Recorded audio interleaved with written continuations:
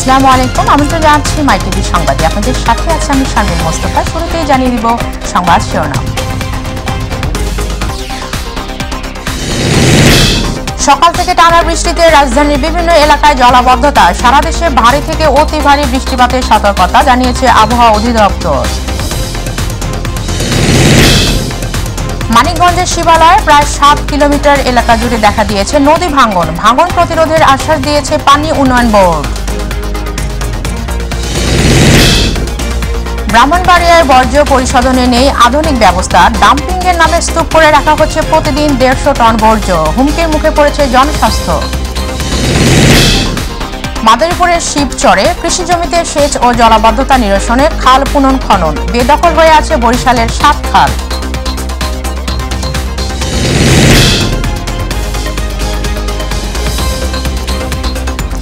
শুনছিলেন শিরোনাম, এবার বিস্তারিত। ভোর থেকে রাজধানী জুড়ে শুরু হয়েছে ঝুম বৃষ্টি। সাপ্তাহিক ছুটির দিনে রাজধানীর প্রায় সব এলাকায় বৃষ্টি হচ্ছে। টানা ভারী বৃষ্টিতে নগরীর বিভিন্ন জায়গায় সৃষ্টি হয়েছে জলাবদ্ধতা। বৃষ্টি উপেক্ষা করে যারা বের হয়েছেন, তাদের বেশিরভাগই ভিজে গন্তব্যে যাচ্ছেন। টানা বর্ষণের কারণে কাউরান বাজার তেজকুনি পাড়া শাহজাহানপুর, মালিবাগ রেলগেট, মৌচাক, মগবাজার, পশ্চিম তেস্তুরি বাজার সহ ধানমন্ডি সহ পশ্চিম শেওড়াপাড়ার বর্ডার বাজার, দক্ষিণ মণিপুরের মোল্লাপাড়া সহ রাজধানীর অনেক রাস্তায় এরই মধ্যে পানি জমে গেছে। আবহাওয়া অধিদপ্তর বলছে, মৌসুমি বায়ু সক্রিয় রয়েছে। ফলে দেশের সব বিভাগে বজ্রসহ বৃষ্টির পূর্বাভাস রয়েছে। দেশের কিছু অঞ্চল হতে পারে ভারী বর্ষণ। আবহাওয়া অফিসের তথ্য অনুযায়ী, মৌসুমী বায়ুর অক্ষ ভারতের পাঞ্জাব, হরিয়ানা, উত্তরপ্রদেশ, বিহার, পশ্চিমবঙ্গ ও বাংলাদেশের উত্তরাঞ্চল হয়ে আসাম পর্যন্ত বিস্তৃত রয়েছে।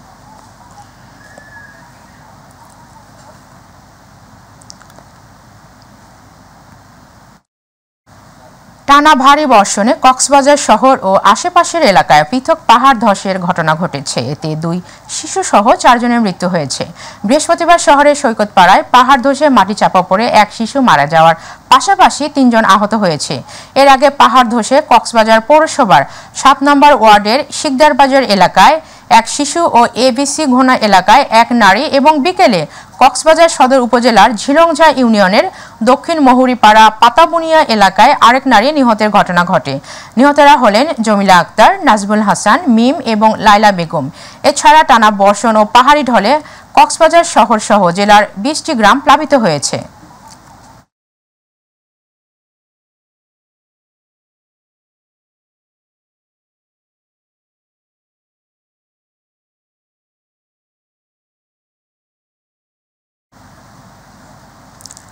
মানিকগঞ্জের শিবালয়ে জাফরগঞ্জ থেকে আরিচা পর্যন্ত প্রায় সাত কিলোমিটার এলাকা জুড়ে দেখা দিয়েছে নদী ভাঙ্গন ড্রেজার দিয়ে অবৈধ বালু উত্তোলনের ফলে এই নদী ভাঙ্গনের সৃষ্টি হয়েছে দাবি এলাকাবাসীর। ভাঙ্গন প্রতিরোধের আশ্বাস দিয়েছে পানি উন্নয়ন বোর্ড কর্তৃপক্ষ। শিবালয় প্রতিনিধি লিটন আহমেদের রিপোর্ট জানাচ্ছেন ইলিয়াস কমল। উজান থেকে নেমে আসা ঢল ও অতিবৃষ্টির কারণে নদ নদীতে পানি বেড়ে যাওয়ায় নদী ভাঙনের কবলে পড়েছে শিবালয় উপজেলার তেওতা ইউনিয়নের নিহালপুর ঝিকুটিয়া সমেজঘর ইতিমধ্যেই নদীগর্ভে বিলীন হয়েছে অনেক বসত বাড়ি। জীবন বাঁচানোর শেষ সম্বলটুকু সরিয়ে নিতে হচ্ছে নদী পাড়ের বাসিন্দাদের। অবৈধভাবে ড্রেজার দিয়ে বালু উত্তোলনের ফলে নদী ভাঙন দেখা দিয়েছে দাবি এলাকাবাসীর। ভাঙন রোধে মানববন্ধন ও বিক্ষোভ মিছিল করেছে স্থানীয় বাসিন্দারা। তারাই এখানে চট্টর জাগে চট্টর জাগার পরে ডিজিং এর ব্যবসা করে।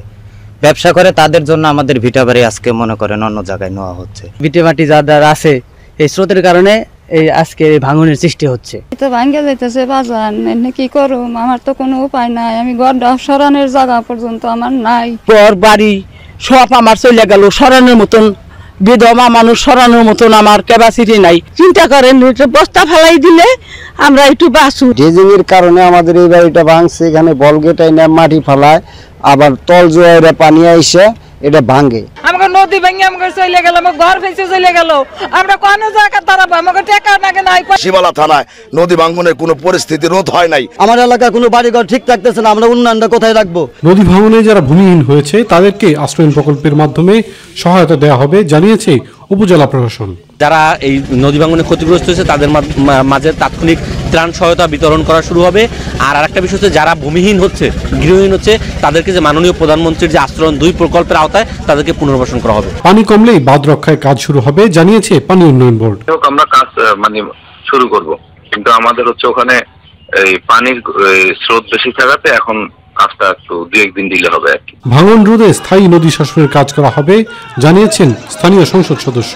আমি আমার মন্ত্রণালয় থেকে যত দূর সুযোগ সুবিধা পারি, আমার এলাকার মানুষের জন্য আমি করব। যাদের বাড়িঘর ভেঙে গেছে, তারা যারা নাকি একটু নিম্ন আয়ের মানুষ, তাদেরকে আমি পুনর্বাসিত করব। স্থায়ী বাঁধ নির্মাণ করে নদী ভাঙন থেকে বসত বাড়ি শিক্ষা প্রতিষ্ঠান আশ্রয়ন প্রকল্প ও ফসলি জমি রক্ষার দাবি জানিয়েছে স্থানীয়রা ইলিয়াস কমল, মাই টিভি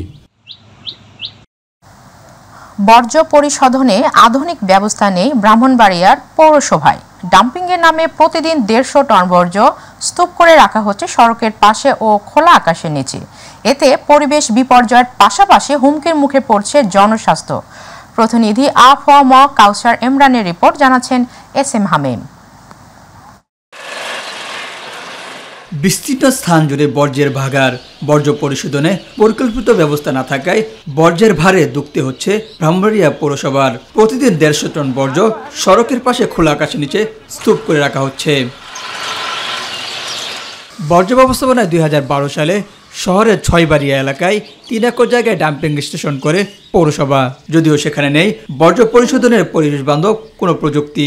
এতে নোংরা পরিবেশে চলছে মশামাসি সহ নানা রকমের বিষাক্ত ক্ষতিকারক পোকামাকড়ের অবাধ বংশ বিস্তার পৌরবাসী আক্রান্ত হচ্ছে শ্বাসকষ্ট সহ নানা রোগে। ময়লার দুর্গন্ধের কারণে আমরা বাড়ি ঘর থাকতে পারতাছি না। কারণ আমাদের আসা যাওয়া খুব কষ্ট হয় ময়লার দুর্গন্ধের কারণে। মহিলাকে আসা গেলে মনে রাস্তা জাম লাগে জায়গা। রাস্তা যাত্রীরা তাই যাত্রীরা অসুস্থ হয়ে জায়গা। ময়লাটার জন্য আমাদের অনেক ক্ষতি হচ্ছে এবং অনেক কষ্ট হচ্ছে। পার্শ্ববর্তী এলাকাতেও ছড়াইছে এসব গন্ধ এবং এসব দুর্গন্ধের কারণে মানুষের রোগ জীবাণু মানুষের মধ্যে ছড়িয়ে যাচ্ছে। বছরের পর বছর এই বর্জ্য পরিকল্পিত উপায়ে পরিশোধনের ব্যবস্থা না নেওয়া হলে দেখা দিবে পরিবেশ বিপর্যয়ের। এমনটাই আশঙ্কা করছেন সচেতন মহল। আমরা মেয়র মহোদয়ের কাছে দৃষ্টি আকর্ষণ করব, যেন তাড়াতাড়ি উনি এটি এই ব্যবস্থা অব্যবস্থাপনা দূর করে কীভাবে শহরকে পরিষ্কার পরিষ্কার রাখানো যায় এবং শহরকে কীভাবে সুন্দর করা যায় সেই দিকে উনি নিজের যথেষ্ট পরিমাণ নজর দিই। প্রতিদিনের মানে এটা প্রতিদিন অপসারণ করবে, এটাই পৌরসভার কাজ হওয়া উচিত। মাঝে মধ্যে দেখা যায় আগুন দিয়ে পোড়ানো হচ্ছে। এই জন্য কিন্তু এই এলাকার কিন্তু বায়ু দূষণের একটা ব্যাপার হয়ে দাঁড়িয়েছে। বর্জ্য ব্যবস্থাপনায় সংকটের কথা স্বীকার করে আধুনিকায়ন করা হবে বলে জানিয়েছে পৌর কর্তৃপক্ষ। ব্রাহ্মণবাড়িয়া পৌরসভার গার্বেজ ম্যানেজমেন্ট সিস্টেমটাকে আপগ্রেডেশন করা জন্য আমাদের মাননীয় মন্ত্রী মহোদয়ের নির্দেশনায় আমরা কাজ করছি। আঠারোশো আটষট্টি সালে প্রতিষ্ঠিত প্রথম শ্রেণির বামুনবাড়িয়া পৌরসভায় প্রায় তিন লক্ষ মানুষের বসবাস। S M Hamim my TV. কৃষি জমিতে সেচ ও জলাবদ্ধতা নিরসনে মাদারীপুরের শিবচরে বিভিন্ন এলাকায় কয়েকটি খাল নতুন করে খনন করা হয়েছে। ফলে বর্ষা মৌসুমের পাশাপাশি শুকনো মৌসুমেও চাষাবাদে বাম্পার ফলনের স্বপ্ন দেখছেন কৃষকরা। খনন করা খালের সুবিধা কাজে লাগিয়ে কৃষকরা আগের চেয়ে দ্বিগুণ ফসল উৎপাদিত হবে বলে আশাবাদ জানিয়েছে সংশ্লিষ্টরা। প্রতিনিধি মাসুদুর রহমান সর্দারের রিপোর্ট জানাচ্ছেন শামস তাবরিজ উচ্ছ্বাস। মাদারীপুরের শিবচরের কৃষক সিরাজ পুস্তা ও নোয়াবালি ব্যাপারী গত ত্রিশ বছর ধরে জমিতে ফসল উৎপাদনে পানি সংকটে ভুগছেন। প্রতি বছরই বাড়তি খরচ করে পানির চাহিদা মেটাতে হতো। গেল সেপ্টেম্বরে ভরাট হয়ে যাওয়া ট্যাঙ্গামারি খালটি পূর্ণ খনন করায় এখন সারা বছরই খালে পানি থাকে। সারা বছর পানি পাওয়ায় এবছর পাটসহ আগামীতে রবি শস্য উৎপাদনে আর তাদের পানি সংকট থাকবে না বলে মনে করছেন তারা। আগে সমস্যা ছিল পানি আসলো না কিছু আসলো না। হ্যাঁ, এই পাট জাগ দিতে পাট মাথা করে গাঙ্গে নিতে হয়েছে নদীতে নিতে হয়েছে অনেক জায়গাটা জায়গায় দেওয়া যায়। খালে কারণে আমাকে পানি এসে আমরা খোলা হওয়ার জিনিস করতে পারি। জাইকার অর্থায়নে দুই হাজার তেইশ চব্বিশ অর্থ বছরে ক্ষুদ্রাকার পানি সম্পদ উন্নয়ন প্রকল্পের অধীনে ছয়টি খাল খননের উদ্যোগ নেয় এলজিডি। প্রকল্পের মাধ্যমে গেল সেপ্টেম্বর মাসে খালগুলো খনন করা হয়। এই বছর কাটাতে আমরা দীর্ঘদিনের এই সমস্যার থেকে সমাধান আমরা পাইছি। হাল কারণে ভালোই হয়েছে ইনশাল্লাহ। পানি পুনি পাইতে আসি। আমাদের অনেক উপকার হয়েছে। আবার দেখা যাইতেছে আপনার কার্তিক মাসে পেঁয়াজ রসুনের জমিতে আমরা এই খালে থেকে আমরা পানি দিতে পারতেছি। খালগুলো খনন হওয়ায় স্থানীয় কৃষকদের চাষাবাদে দুর্ভোগ ও পানি সেচে খরচ কমেছে বলে জানিয়েছে জনপ্রতিনিধি। যখন ইরিবলক করে ইরিবলকের সময় আপনার অনেক দূর থেকে পানি আনতে হয় আবার আপনি সেলো মেশিন বসে পানি আনতে হয়। এখন যেহেতু খালে পানি থাকবে এই খালের থেকে অল্প খরচে আপনি কৃষক সেচ সুবিধা পাবেন ইনশাল্লাহ কৃষকেরা সরাসরি উপকৃত হওয়ায় আগামীতে উপজেলায় আরও খাল খনন করা হবে বলে জানিয়েছে এই কর্মকর্তা। কৃষিক্ষেত্রে উন্নত সাধতের পাশাপাশি সেখানে ভবিষ্যতে মৎস্য চাষের মাধ্যমে দেশের প্রোটিনের চাহিদা পূরণ পূরণ হবে। শামস তাবরিজ উচ্ছ্বাস মাই টিভি নিউজ ডেস্ক। হারিয়ে যাচ্ছে প্রাচ্যের ভ্যানিস বরিশাল। নগরীর প্রধান সাতটি খাল আবার বেদখল হয়ে পড়েছে। ময়লা আবর্জনায় দুর্গন্ধ, মশা আর বর্ষার জলবদ্ধতা নিয়ে চিন্তিত নগরবাসী। তবে দ্রুত খালগুলো সংস্কারের আশ্বাস দিয়েছে সিটি কর্পোরেশন।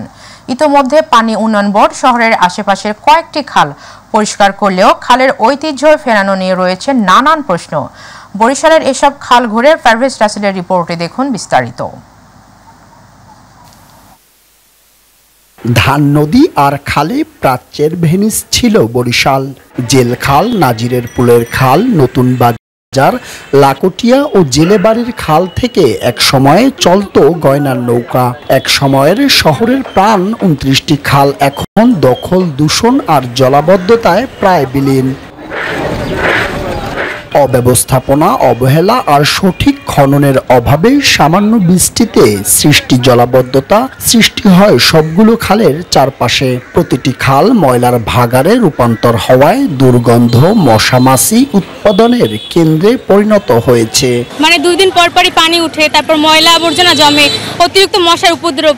মশা মাছি দুর্গন্ধ এটা তো আমাদের নিত্যদিনের বিষয় হয়ে গেছে। নগরের পাঁচ লাখ মানুষের দুর্ভোগ আর ঐতিহ্য রক্ষায় খাল বাঁচাতে জোট বেঁধেছে সিটি কর্পোরেশন ও পানি উন্নয়ন বোর্ড এমন দাবি সংশ্লিষ্টদের। এই খালেতে আমরা একসময় গোসল করছি মাছ ধরছি বড়শি দিয়ে হ্যাঁ এবং তখন দেখছি আমরা বিভিন্ন গয়না নৌকা পর্যন্ত এই খালে আসতো। ছয় কোটি সাত লাখ টাকায় জেল খাল চাঁদমারি নবগ্রাম পলাশপুর ভাটার খাল সহ ষাটটি খাল পরিষ্কার করলেও নগরীর প্রধান খালগুলো রয়েছে অপরিচ্ছন্ন। সিটি কর্পোরেশন কিছুদিন যাবতই খনন করে পুনরায় ভালোভাবে খনন করা হয় না। আমি চাচ্ছি যে এই খাল খননের মাধ্যমে নে- ড্রেনগুলো নিয়মিত পরিষ্কারের মাধ্যমে পরিবেশ আরও সুন্দর করা। খাল রক্ষায় সকলকে এগিয়ে আসার আহ্বান জানায় সিটি কর্পোরেশনের গণসংযোগ কর্মকর্তা। আমাদের খাল বিভিন্ন সময় আমরা খাল খনন করছি খাল রক্ষা করার চেষ্টা করছি কিন্তু আমাদের শুধু আমাদের একার প্রচেষ্টাই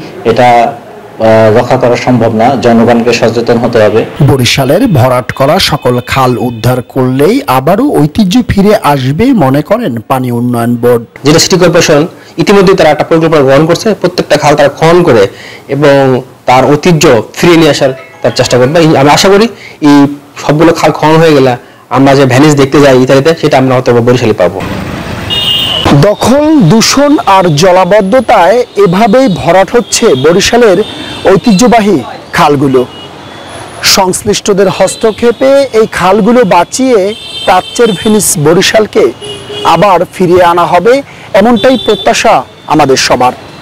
Parvez Rasel, my TV, Barishal. বগুড়ার শেরপুরে ট্রাক ও সিএনজি চালিত অটোরিকশার সংঘর্ষে একই পরিবারের তিনজন সহ চারজনের মৃত্যু হয়েছে। এই দুর্ঘটনায় আরও দুইজন আহত হয়েছে। আহত ও নিহতদের উদ্ধার করে বগুড়া শহীদ জিয়াউর রহমান মেডিকেল কলেজ হাসপাতালে নেওয়া হয়েছে। বৃহস্পতিবার উপজেলার মির্জাপুরে এই দুর্ঘটনা ঘটে। নিহতরা হলেন আরিফুল ইসলাম, মৌসুমী আক্তার ও সাইফুল ইসলাম। এছাড়া দুর্ঘটনায় সিএনজি অটোরিকশা চালক নাসিম হোসেনের মৃত্যু হয়েছে। শেরপুর থানা পুলিশের ভারপ্রাপ্ত কর্মকর্তা ওসি জানান, ঘটনাস্থলে একজনের মৃত্যু হয়। পরে বগুড়া শহীদ জিয়াউর রহমান মেডিকেল কলেজ হাসপাতালে নিয়ে যাওয়ার পথে তিনজনের মৃত্যু হয়। ট্রাক ও সিএনজি চালিত অটোরিকশাটি হাইওয়ে পুলিশের হেফাজতে রয়েছে।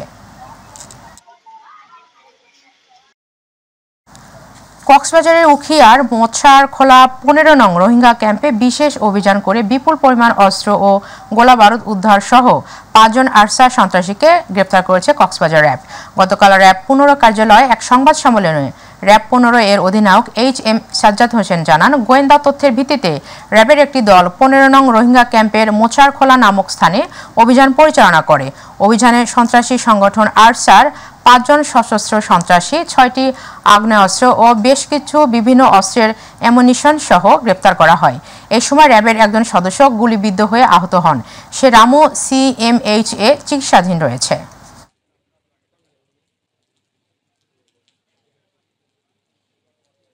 তারা অপহরণমূলক কর্মকাণ্ডগুলো উঠিয়ে এবং মিলায় বিভিন্ন পয়েন্ট থেকে। এই যে নিরীহ কৃষক যারা, তাদেরকে অপহরণ করে অর্থের বিনিময়ে তাদেরকে ছেড়ে দেয় এরা শুধু অপহরণ করে ছেড়ে দিত না এটা অপহরণ করে তারা গহীন জঙ্গলে নিয়ে যেত। তাদেরকে অত্যাচারের ভিডিওগুলো প্রকাশ করত। যে ভিডিও আপনারাও বিভিন্ন সময় সোশ্যাল মিডিয়ার মাধ্যমে আপনারাও দিয়েছেন, আমাদের কাছেও বিভিন্নভাবে এসেছে। এই অত্যাচারের ভিডিওগুলো তারা তাদের পরিবারের কাছে প্রেরণ করে অর্থ চাহিদা করত এবং যে অর্থগুলো তারা পেত, সেই অর্থগুলো দিয়ে মূলত তারা এই অস্ত্র এবং ক্রয় ফেনীর পশ্চিম রামপুরে মাথায় আঘাত করে ফেনীতে বিকাশ ডিস্ট্রিবিউশনের সেলস অফিসারের কাছ থেকে আড়াই লক্ষাধিক টাকা ছিনতাইয়ের ঘটনায় হতাসহ ছয়জনকে গ্রেফতার করেছে জেলা গোয়েন্দা পুলিশ ডিবি। সকালে পশ্চিম রামপুর মেহেদি সাইদি বিদ্যানিকেতন সড়ক এলাকায় এই ঘটনা ঘটে। এ সময় তাদের কাছ থেকে এক লাখ একচল্লিশ হাজার টাকা উদ্ধার করে ডিবি পুলিশ। বৃহস্পতিবার ফেনী জেলা পুলিশ সুপারের কার্যালয়ে সংবাদ সম্মেলনে সাংবাদিকদের এসব তথ্য জানান অতিরিক্ত পুলিশ সুপার সাদত হোসেন। গ্রেফতারকৃতরা হলেন সাব্বির হোসেন, আব্দুর রাজ্জাক ফয়েজ উল্লাহ রাজিম, ইসমাইল হোসেন মাসুম, রিদওয়ান হোসেন হৃদয়, ওমর ফারুক আরমান। চিন্তাকৃত দুই লক্ষ ষাট হাজার টাকার মধ্যে আমরা এক লক্ষ একচল্লিশ হাজার ষাট টাকা উদ্ধার করতে সক্ষম হই এবং যেই সিএনজি দিয়ে তারা চিন্তায়ের ঘটনাটা ঘটিয়েছিল, এই সিএনজি ড্রাইভার সহ সিএনজিটা আমরা উদ্ধার করতে সক্ষম হই। নরসিংদীর মাধবদীতে যাত্রীর ছদ্মবেশে নুরুল ইসলাম নামে এক চালককে হত্যা করে রিকশা ছিনতাইয়ের ঘটনায় চারজনকে গ্রেপ্তার করেছে পুলিশ। বৃহস্পতিবার নরসিংদীর পুলিশ সুপারের কার্যালয়ে এক সংবাদ সম্মেলনে এই তথ্য জানান পুলিশ সুপার মোহাম্মদ মুস্তাফিজুর রহমান। নিহত নুরুল ইসলাম মাধবদী থানার ভাটপাড়া গ্রামের মৃত কাশেম আলীর ছেলে। গ্রেপ্তারকৃতরা হলেন বাচ্চু মিয়া, সোহেল মিয়া, হৃদয় ও নবীন হোসেন। গ্রেপ্তারকৃত আসামিরা একশো চৌষট্টি ধারায় নিজেদের দোষ স্বীকার করে আদালতে স্বীকারোক্তিমূলক জবানবন্দি প্রদান করে। পরে তাদের জেল হাজতে পাঠানো হয়। গাজীপুরের কাপাসিয়ায় পারিবারিক দ্বন্দ্বের জেরে মেয়েকে কুপিয়ে ও গলা কেটে হত্যা করেছে বাবা। বৃহস্পতিবার উপজেলার চাঁদপুর ইউনিয়নের ধরপাড়া গ্রামে এ ঘটনা ঘটে। নিহতের নাম স্মৃতি আক্তার। ধরপাড়া গ্রামের সাইফুদ্দিনের মেয়ে। এ বিষয়ে কাপাসিয়া থানা পুলিশের ভারপ্রাপ্ত কর্মকর্তা ওসি আবু বক্কর সিদ্দিক বলেন, মরদেহ উদ্ধার করে ময়না তদন্তের জন্য গাজীপুর শহীদ তাজউদ্দিন আহমেদ মেডিকেল কলেজ হাসপাতালে পাঠানো হয়েছে। ঘটনার পরপরই অভিযুক্ত সাইফুদ্দিন পলাতক রয়েছে। তাকে গ্রেপ্তার করতে অভিযান অব্যাহত রয়েছে। বিভিন্ন গাড়ির বিপুল পরিমাণ যন্ত্রাংশ সহ দুই চোর চক্রের সদস্যকে গ্রেপ্তার করে গাজীপুরে জয়দেবপুর থানা পুলিশ। গাজীপুরে জয়দেবপুর থানার ওসি শরীফুল ইসলাম ও এসআই কামাল হোসেন ও সঙ্গীয় ফোর্স নিয়ে বিভিন্ন এলাকায় অভিযান চালিয়ে গাড়ি যন্ত্রাংশ চোর চক্রের সদস্যদের মধ্যে দুই চোরকে হাতে নাতে গ্রেফতার করা হয়। গ্রেফতারকৃতরা হলেও জহিরুল ইসলাম আক্তার হোসেন। তাদের কাছ থেকে উদ্ধারকৃত বিভিন্ন গাড়ির বিপুল পরিমাণ যন্ত্রাংশ উদ্ধার করে থানা হেফাজতে রাখা হয়েছে। এই ঘটনার সাথে জড়িত আসামিদেরকে আদালতে প্রেরণ করা হয়েছে। বাকি আসামিদেরকে গ্রেফতার করতে পুলিশের অভিযান অব্যাহত রয়েছে। গাজীপুরের শ্রীপুর পৌর আওয়ামী লীগের সাধারণ সম্পাদক নূরে আলম মোল্লার বাড়িতে গুলি করার ঘটনায় আখতার হোসেন নামে একজনকে গ্রেফতার করেছে গোয়েন্দা পুলিশ।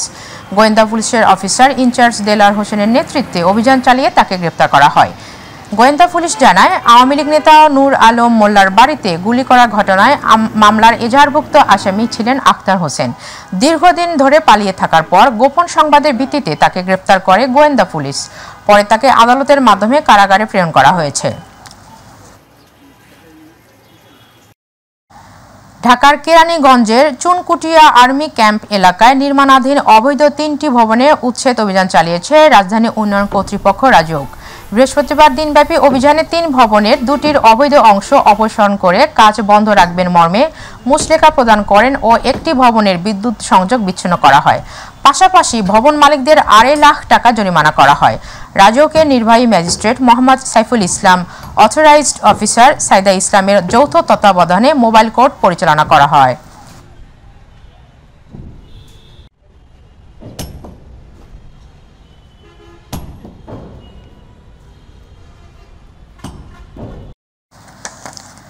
বিশ্ব জনসংখ্যা দিবস উপলক্ষে কক্সবাজারে আলোচনা সভা ও পুরস্কার বিতরণী অনুষ্ঠান করা হয়েছে।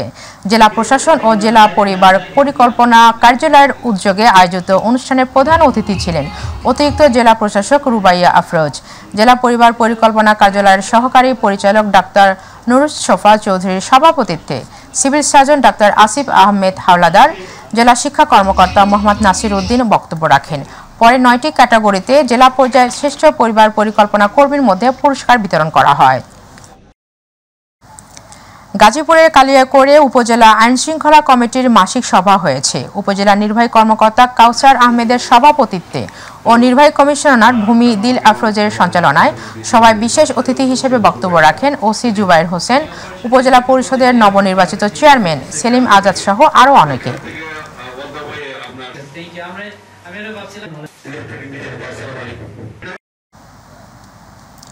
লক্ষ্মীপুরের রায়পুর পৌরসভা কর্তৃক মোড়া ডাকাতিয়া নদী ও খাল পরিষ্কার পরিচ্ছন্নতা কর্মসূচির উদ্বোধন করা হয়েছে। রায়পুর পৌরসভার মেয়র ও রায়পুর উপজেলা আওয়ামী লীগের যুগ্ম সাধারণ সম্পাদক গিয়াসুদ্দিন রুবেল ভাটের নেতৃত্বে তিন নং ওয়ার্ডস্থ সওদাগর বাড়ির সামনে থেকে ডাকাতিয়া নদী পরিষ্কার পরিচ্ছন্নতা কর্মসূচির উদ্বোধনী অনুষ্ঠানে প্রধান অতিথি ছিলেন লক্ষ্মীপুর দুই আসনের সংসদ সদস্য নুরুদ্দিন চৌধুরী নয়ন।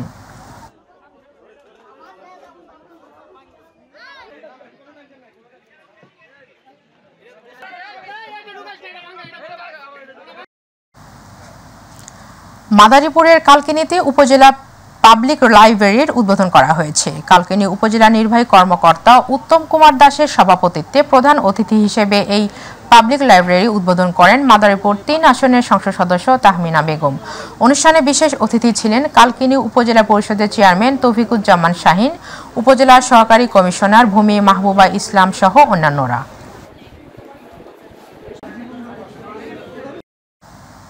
জাতীয়তাবাদী যুব দলের নবগঠিত কেন্দ্রীয় নির্বাহী কমিটিতে আব্দুল মোনায়েম মুন্না ও নুরুল ইসলাম নয়নকে সাধারণ সম্পাদক মনোনীত করায় শুভেচ্ছা ও অভিনন্দন জানিয়ে মিছিল করেছে গাজীপুর মহানগর যুবদল। আহ্বায়ক সাজেদুল ইসলামের নেতৃত্বে গতকাল ঢাকায় ময়মনসিংহ মহাসড়কে মিছিলটি টঙ্গীবাজার থেকে শুরু হয়ে বাটা গেটে গিয়ে সংক্ষিপ্ত সমাবেশের মাধ্যমে শেষ হয়।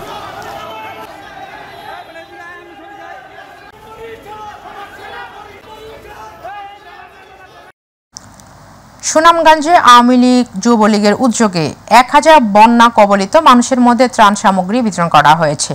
সুনামগঞ্জ মুক্তিযুদ্ধ জাদুঘর প্রাঙ্গণে বন্যা কবলিত সাধারণ মানুষের মধ্যে প্রধানমন্ত্রী উপহার, ত্রাণ ও খাদ্য সামগ্রী বিতরণ করেন সুনামগঞ্জ জেলা যুবলীগের নেতৃবৃন্দ।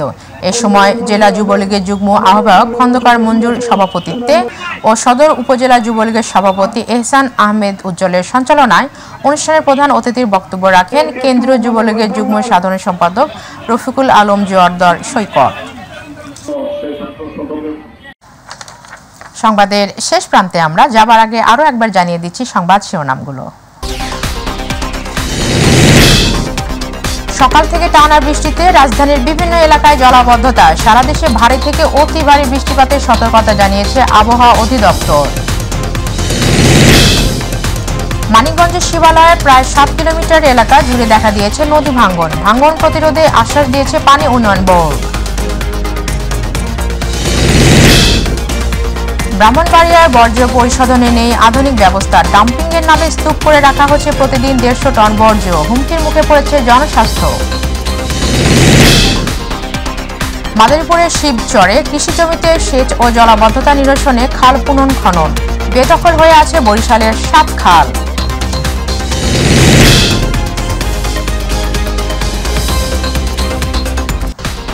এতক্ষণ সঙ্গে থাকার জন্য ধন্যবাদ। এছাড়া ইউটিউবে মাই টিভি সংবাদ পেতে ভিজিট করুন YouTube slash my TV BD news এবং আমাদের অনুষ্ঠান দেখতে ভিজিট করুন YouTube slash my TV Bangla O Facebook slash my TV Bangla পরবর্তী সংবাদ দেখার আমন্ত্রণ জানিয়ে জানিয়েছি আল্লাহ হাফেজ।